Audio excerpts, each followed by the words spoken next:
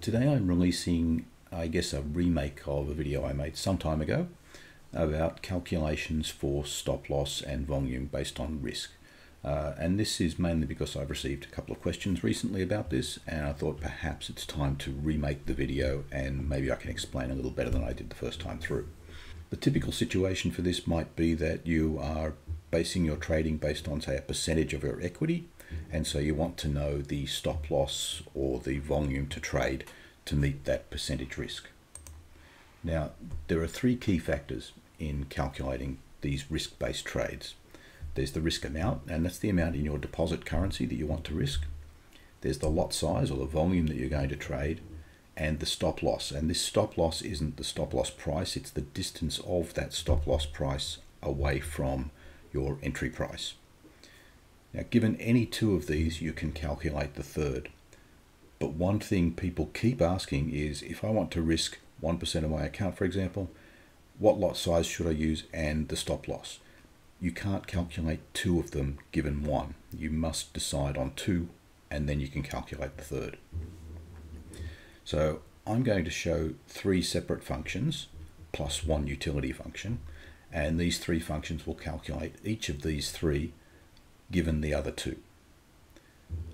Now, firstly, let me point out risk amount here is in your deposit currency. Uh, it's regardless of the currency pair that you're trading. So your deposit currency could be US dollars and you might be trading a cross currency of euro and pound.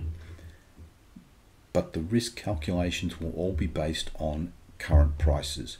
So if you're calculating something for a stop or a limit entry where all of those prices might move, the risk will change by the time the price is hit.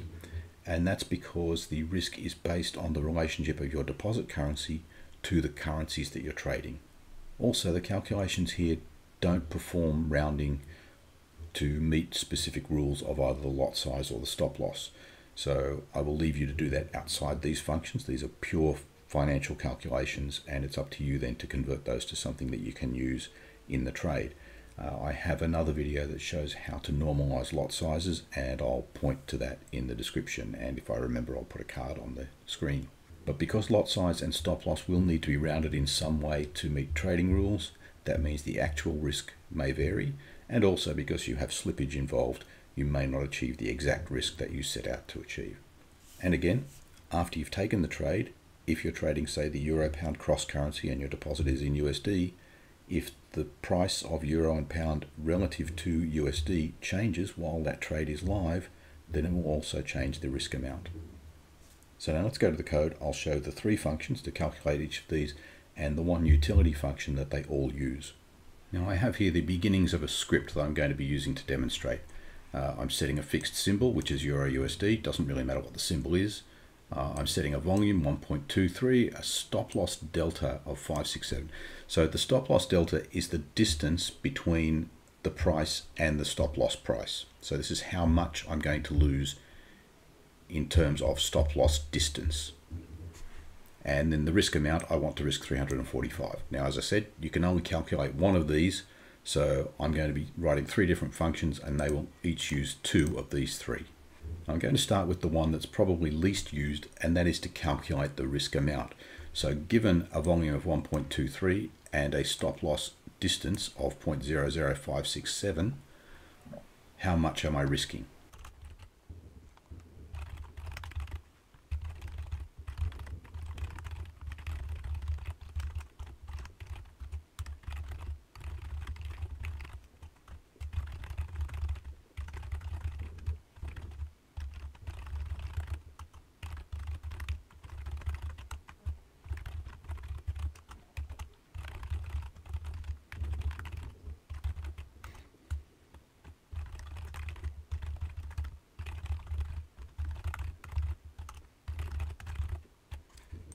So for the risk amount function, I'm passing in the volume and the stop loss delta. So this is the distance from the entry price to the stop loss price. And I'm not passing in a string, I'm passing in a string symbol which is defaulting to null, which will give me the current chart symbol. And the risk amount is going to be returned in your deposit currency. So regardless of the symbol you're trading here, comes back in your deposit currency. So your deposit currency could be USD and you're trading euro, pound. This is going to return the amount that you're risking in US dollars. The value per point first is coming from a function value per point where I'm passing in the symbol and I have to write this function. So we'll get to that in a moment, but that is a very key function. I just wanted to write the rest of this risk amount first to show that. I need to finish the function. Then the size of a point, I get that from symbol info double for the symbol and symbol underscore point.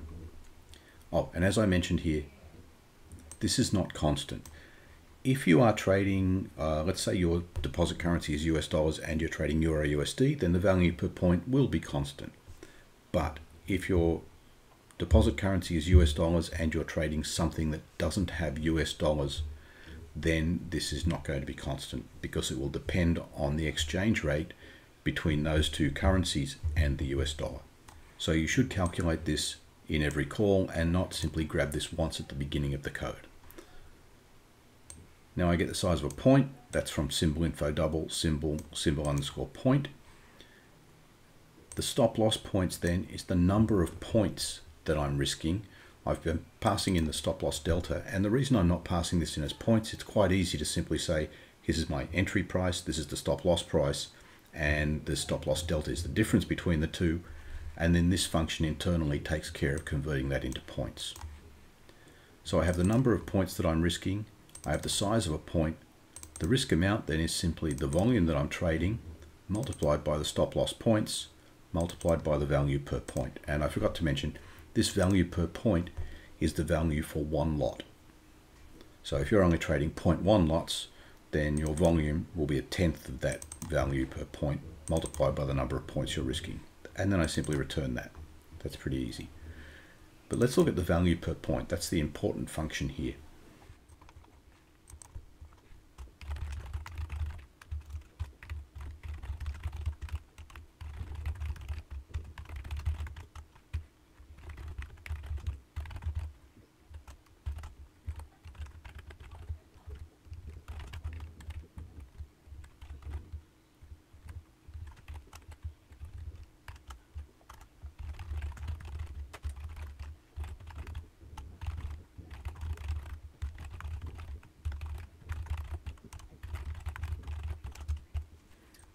So again, I'm passing in a symbol which defaults to null. Value per tick comes directly from the symbol info double function for symbol trade tick value. And this returns the value in the deposit currency of a single tick movement of this symbol for one lot. And that's why my results come back for one lot. So this tells me, for example, $5 per tick for whatever that symbol might be. Then I need the tick size. And this is the point that a lot of people skip. Tick size is simply a size in price movement of a single tick. And point then, using symbol info double symbol underscore point, is the size in price movement of a point. These two are almost always the same, but not guaranteed to be the same. And the shortcut a lot of people take is to simply assume that there is one tick per point. Uh, it's very simple to add a second line here and perform the calculations correctly, so I don't know why people don't do that. But you get tick size, you get the point size. The number of ticks per point then is just the point size divided by the tick size. That's all it takes to get this right. And then of course the value per point is the value per tick multiplied by the number of ticks per point. And then you return value per point. So again, this will return the value in your deposit currency of a one point movement in the price of this symbol for a lot size of one. Okay, so that takes care of risk amount. Let's look at a more useful function here. Uh, typically people will want to set a stop loss or a volume. So let's start with the stop loss.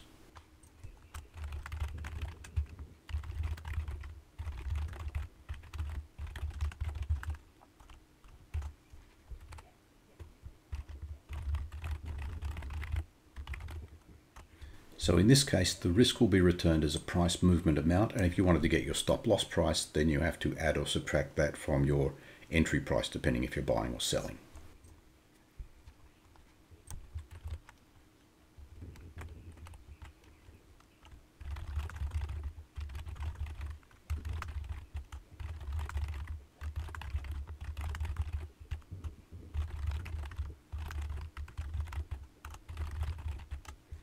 So same value per point function, that's critical.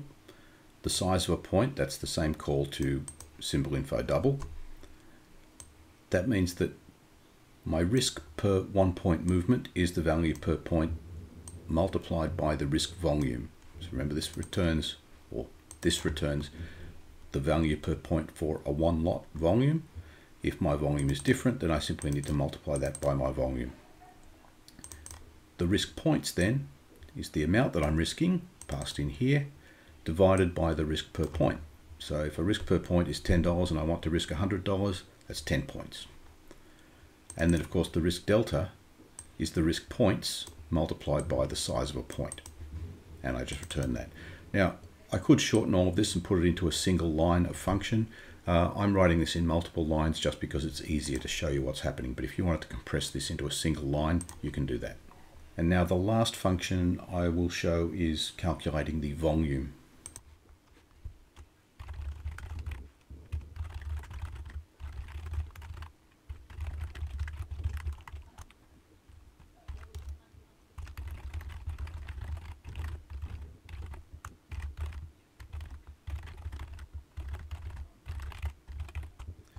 Now, as my note here says, this will calculate a volume that will give the risk based on the amount and the stop loss delta, but that volume may be an invalid trading volume. Uh, so it may come up with something like a volume of 1.7793, and you'll need to take care outside of this function on rounding that off. And I do have another video that shows how to effectively normalize volumes.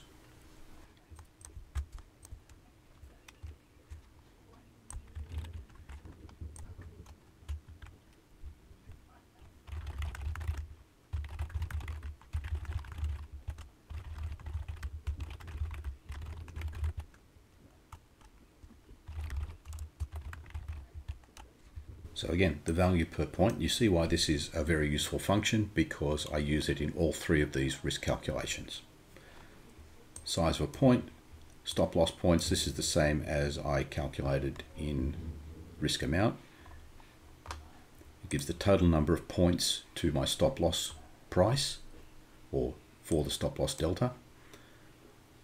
Then the risk per lot is the value per point multiplied by the number of stop loss points. Now, I'm calling this risk per lot because remember that this value per point is for one lot. And then the risk volume is the risk amount divided by the risk per lot. And then I just return that risk volume. So now let's add some print statements and call each of these functions just so that we can run a test. I think that's all right. Let's just run a compile, see if that's all right. And now I'm going to run this and you'll see the results in the experts tab. And here they are, risking a volume of 1.23 over a price range of 0.00567 is a risk amount of $697.41. Risking $345 over a price range of 0.00567 as a volume of 0.608466, which I obviously would need to round to 0.61 or 0.60. So the actual risk is going to be different to 345 simply because I'm going to have to trade a different volume to this. And risking an amount of $345 with a volume of 1.23 means I need a price range of 0.002805 and I've shown enough decimals here to show that this will need to be rounded as well and so the risk again will not be exactly 345 because I will have to change that price range. So that's it for calculating risk-based pricing and volume sizes in your trading. Just remember, the key thing is this value per point and don't skip out on calculating the tick size and number of ticks per point. So if this has been useful, click that like button and if you want to see more videos, click subscribe and click the bell icon to be notified when the next video is released. Thank you for watching.